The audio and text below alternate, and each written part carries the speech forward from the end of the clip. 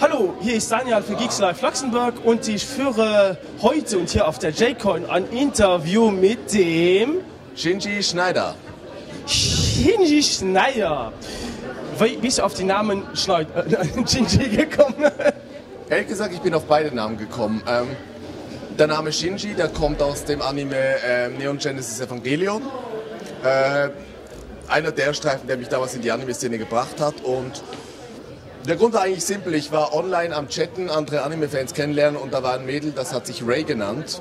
Und ja, wenn ich mich Shinji nenne, dann komme ich mit der ins Gespräch. Also eigentlich war der Name einfach nur, um irgendwie Frauen kennenzulernen. Äh, Schneider kommt von einem anderen Anime und zwar von ähm, Bastard. Da gibt es einen Charakter Dark Schneider. Und ich wollte mich damals bei Animex anmelden hatte jetzt das Problem, Shinji war als Name weg, da Schneider war als Name weg, habe ich gesagt, gut, Shinji Schneider. Und bei meinem ersten Auftritt hat äh, man mich da mit diesem Namen angekündigt, eigentlich gegen meinen Willen. Und seitdem ist das mein Künstlername, seit mittlerweile elf Jahren. Okay, dann ähm, eine Frage. Wie bist du auf die Idee gekommen, auf dieses schöne Kostüm? ähm, das Kostüm ist eigentlich aus dem Anime Kamen no Maid Guy. Der, Hauptcharakter, also der Hauptcharakter dort heißt Kogarashi. Ist eine 1,80 Meter große, äh, muskulöse Maid und Bodyguard und Dämon und Mathe-Genie und es ist ein sehr seltsamer Anime. Aber ich habe immer bei meinen Auftritten immer Kostüme getragen, weil ich kann nicht über die Anime-Szene lästern und Witze machen, wenn ich nicht ganz klar zeige, ich bin einer davon. Ich, ich gehöre dazu. Und ich habe immer nach einem Charakter gesucht, der lange schwarze, der lange dunkle Haare hat, der breite Schultern hat und den ich cosplayen könnte. Und dann hat jemand gesagt, gut, Kogarashi, der passt doch und so. Ähm, ja, wenn ich an der Konichi auftreten darf, also die größte deutsche Anime-Con, und äh, wenn irgendjemand dieses Outfit für mich schneidert, dann trage ich das.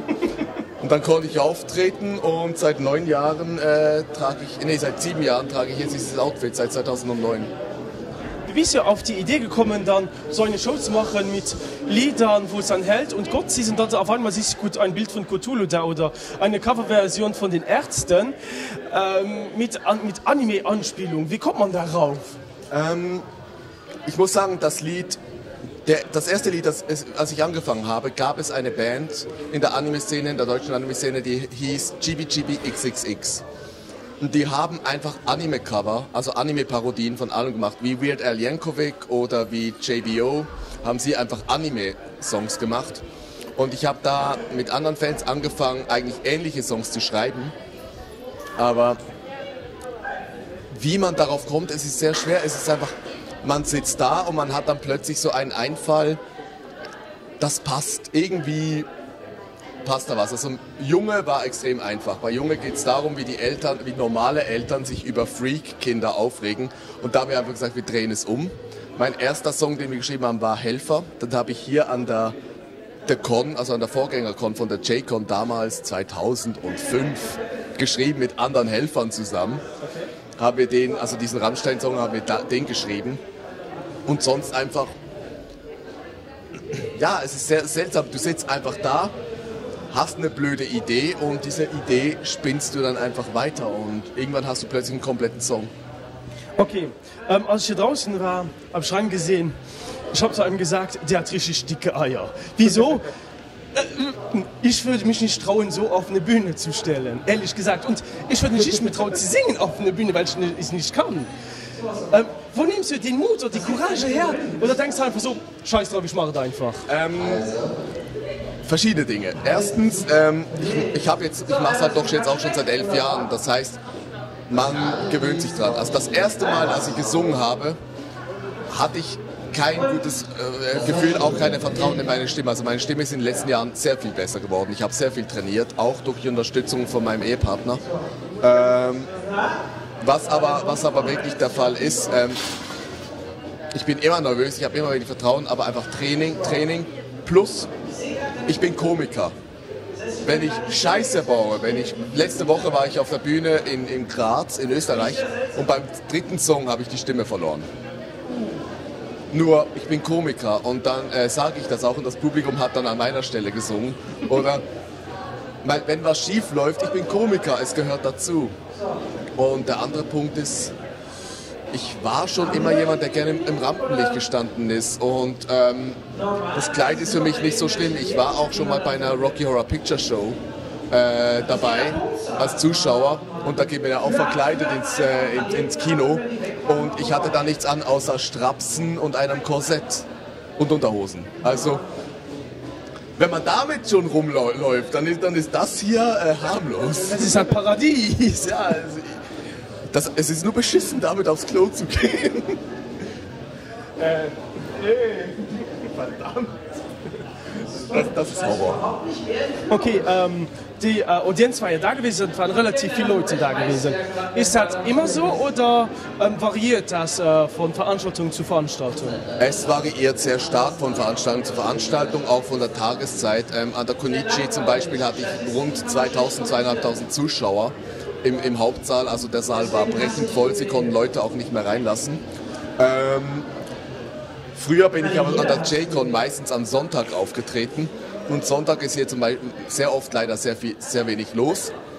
Und dann mache ich meinen Auftritt vor etwa 20, 30 Leuten, von denen vier Fünftel Helfer sind. Aber das gehört dazu. Also es macht ehrlich gesagt, es macht keinen Unterschied auf der Bühne, ob ich jetzt vor 2000 Leuten stehe oder nur vor 20 Leuten, weil mein Comedy-Programm, äh, ich betrachte das als ich rede mit Freunden.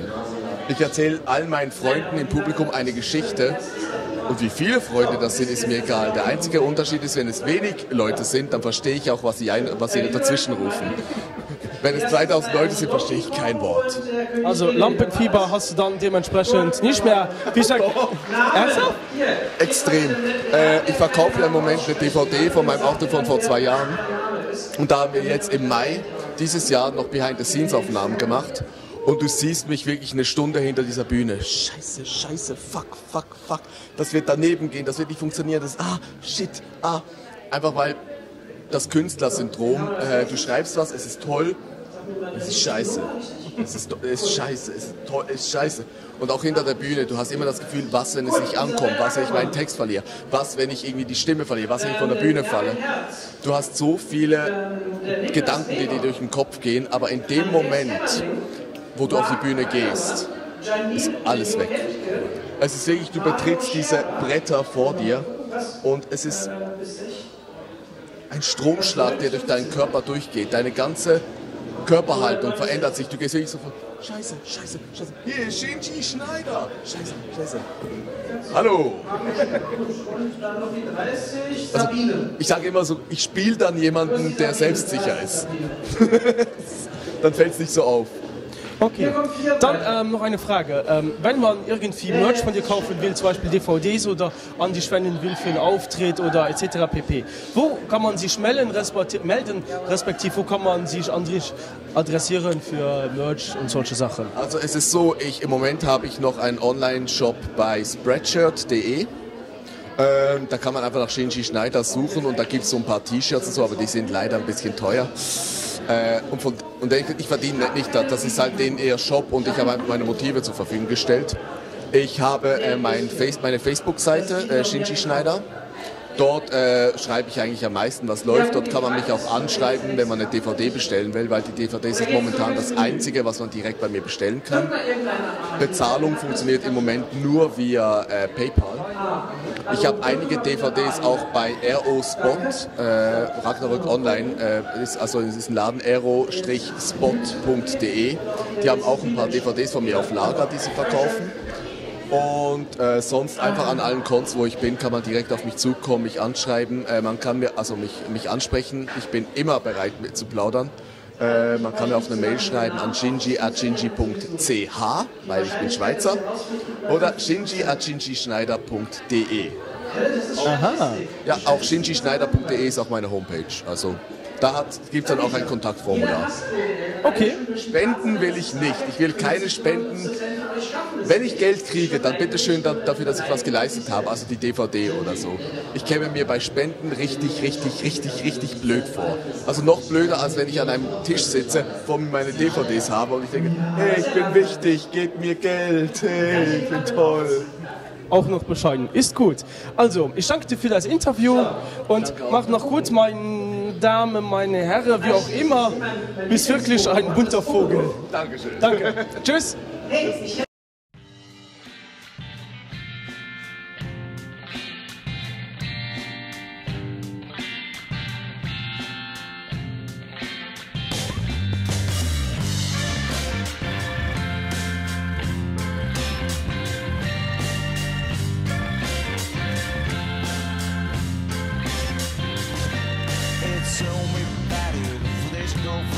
제가 있는 사랑에도 It's big fuck yeah I'm many 우타래 수타래 수타래 You don't give a fuck There's no what you wanna hold So get a word to get a cigarette 가자 뭐 낮에 날 떠나 안 맞지 먹겠지